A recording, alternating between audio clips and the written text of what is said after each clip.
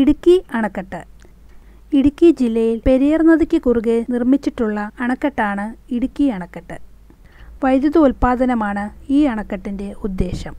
ഇടുക്കി ചെറുതോണി കുളമാവ് എന്നീ മൂന്ന് അണക്കെട്ടുകൾ നിർമ്മിച്ചാണ് വൈദ്യുത ആവശ്യമായ ജലം സംഭരിച്ച് നിർത്തിയിരിക്കുന്നത്. ഇതിന്റെ നിർമ്മാണം ആരംഭിച്ചത് ആയിരത്തി തൊള്ളായിരത്തി അറുപത്തി ഒമ്പത് ഏപ്രിൽ മുപ്പതിനാണ്. ആയിരത്തി തൊള്ളായിരത്തി എഴുപത്തിയാറ് ഫെബ്രുവരി പന്ത്രണ്ടിന് അന്നത്തെ ഇന്ത്യൻ പ്രധാനമന്ത്രി ഇന്ദിരാഗാന്ധി ഈ ജലവൈദ്യുത പദ്ധതി ഉദ്ഘാടനം ചെയ്തു. ഇതിന്റെ ഉയരം നൂറ്റി അറുപത്തി ഒമ്പത് മീറ്ററാണ്. അടുത്തതായി മലമ്പുഴ അണക്കെട്ട്. മലമ്പുഴ അണക്കെട്ട് സ്ഥിതി ചെയ്യുന്നത് പാലക്കാട് ജില്ലയിലാണ്. കേരളത്തിലെ രണ്ടാമത്തെ വലിയ റിസർവെയറാണ് ഇവിടെ ഭാരതപ്പുഴ കൈവഴിയായ മലമ്പുഴ നദി കടന്നു പോകുന്നു ഭാരതപ്പുഴ കേരളത്തിലെ രണ്ടാമത്തെ ഏറ്റവും വലിയ നദിയാണ്. മലമ്പുഴ അണക്കെട്ടിന് അനുബന്ധമായി വിനോദസഞ്ചാര വകുപ്പ് പരിപാലിക്കുന്ന പ്രകൃതി സുന്ദരമായ ഉദ്യാനമാണ് മലമ്പുഴ ഉദ്യാനം. ഇതിന്റെ നിർമ്മാണം ആരംഭിച്ചത് ആയിരത്തി തൊള്ളായിരത്തി നാൽപ്പത്തി ഒമ്പത് മാർച്ചിലാണ്. ആയിരത്തി തൊള്ളായിരത്തി അൻപത്തി അഞ്ച് ഒക്ടോബർ ഒമ്പതിന് അന്നത്തെ മദ്രാസ് മുഖ്യമന്ത്രി ശ്രീ കെ. കാമരാജ് ഉദ്ഘാടനം ചെയ്തു. ഈ അണക്കെട്ട് വളരെ കുറച്ച് സമയം കൊണ്ട് തന്നെ പൂർത്തിയാക്കാൻ സാധിച്ചു. അടുത്തതായി മുല്ലപ്പെരിയാർ അണക്കെട്ട്. കേരളത്തിലെ ഇടുക്കി ജില്ലയിലെ ഒരു അണക്കെട്ടാണ് മുല്ലപ്പെരിയാർ അണക്കെട്ട്. പീരുമേട് താലൂക്കിൽ കുമിളി ഗ്രാമവാസമായ പ്രദേശമാണ് ഈ അണക്കെട്ട് സ്ഥിതി ചെയ്യുന്നത്. വിവിധ പോഷക നദികൾ ചേർന്നുണ്ടായ മുല്ലയാർ പെരിയാർ നദിയായി ഇത് അറിയപ്പെടുന്നു. മുല്ലയാർ നദിക്ക് കുറുകെ പണിതീർത്തിരിക്കുന്ന അണക്കെട്ടാണ് മുല്ലപ്പെരിയാർ അണക്കെട്ട്. ആയിരത്തി എണ്ണൂറ്റി എൺപത്തി ഏഴിലാണ് ഇതിന്റെ നിർമ്മാണം ആരംഭിച്ചത്. പൂർത്തിയായ വർഷം ആയിരത്തി എണ്ണൂറ്റി തൊണ്ണൂറ്റി അഞ്ച് മുന്നൂറ്റി അറുപത്തി അഞ്ച് മീറ്ററാണ് ഇതിന്റെ ഉയരം. അടുത്തതായി പറമ്പിക്കുളം അണക്കെട്ട്. പാലക്കാട് ജില്ലയിലെ പറമ്പിക്കുളം നദിയിൽ സ്ഥിതി ചെയ്യുന്ന അണക്കെട്ടാണ് പറമ്പിക്കുളം അണക്കെട്ട്. ലോകത്തിലെ ഏറ്റവും മികച്ച പത്ത് ജലസംഭരണികളിൽ ഒന്നാണ് ഈ അണക്കെട്ട്. ഈ അണക്കെട്ടിൽ സംഭരിച്ചിരിക്കുന്ന ജലം പ്രധാനമായും കാർഷിക ആവശ്യങ്ങൾക്കാണ് ഉപയോഗിക്കുന്നത്. എഴുപത്തിമൂന്ന് മീറ്ററാണ് ഈ അണക്കെട്ടിന്റെ ഉയരം. അടുത്തതായി നെയ്യാർ അണക്കെട്ട്. തിരുവനന്തപുരം ജില്ലയിൽ നെയ്യാർ നദിയിൽ നിർമ്മിച്ചിട്ടുള്ള അണക്കെട്ടാണ് നെയ്യാർ അണക്കെട്ട്.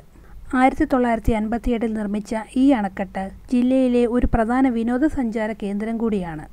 ഈ അണക്കെട്ടിന് ചുറ്റും ഔഷധ സസ്യങ്ങളും ഒപ്പം സുന്ദരമായ ഒരു തടാകവും കാണപ്പെടുന്നു.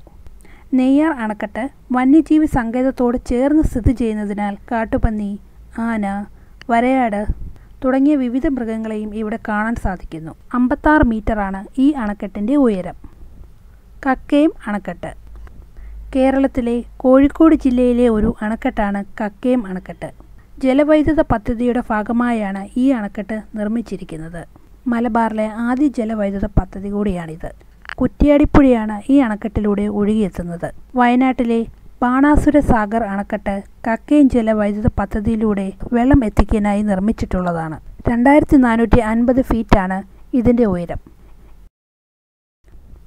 അടുത്തതായി പഴശ്ശി അണക്കെട്ട്. കേരളത്തിലെ കണ്ണൂർ ജില്ലയിൽ നിന്ന് മുപ്പത്തേഴ് കിലോമീറ്റർ കിഴക്കാണ് പഴശ്ശി അണക്കെട്ട് സ്ഥിതി ചെയ്യുന്നത്. പ്രകൃതി മനോഹരമായ ഒരു അണക്കെട്ട് കൂടിയാണിത്. ഉത്തര കേരളത്തിലെ ഒരു പ്രധാന ജലസേചന പദ്ധതി എന്ന നിലയിലാണ് ഈ അണക്കെട്ട് നിർമ്മാണം ആരംഭിച്ചത്. കുടിവെള്ള ശേഖരണം വിതരണം ചെയ്യൽ എന്നീ ആവശ്യങ്ങൾക്കായി ഈ അണക്കെട്ടിന്ന് ഉപയോഗിക്കുന്നു. ഒരു പ്രമുഖ ടൂറിസ്റ്റ് കേന്ദ്രം കൂടിയാണിത്. പഴശ്ശിയുടെയും ബുദ്ധന്റെയും പ്രതിമ ഈ അണക്കെട്ടിന്റെ പ്രധാന ആകർഷങ്ങളാണ് ആയിരത്തി തൊള്ളായിരത്തി എഴുപത്തി ഒമ്പതിലാണ് ഇതിന്റെ നിർമ്മാണം പൂർത്തിയായത്.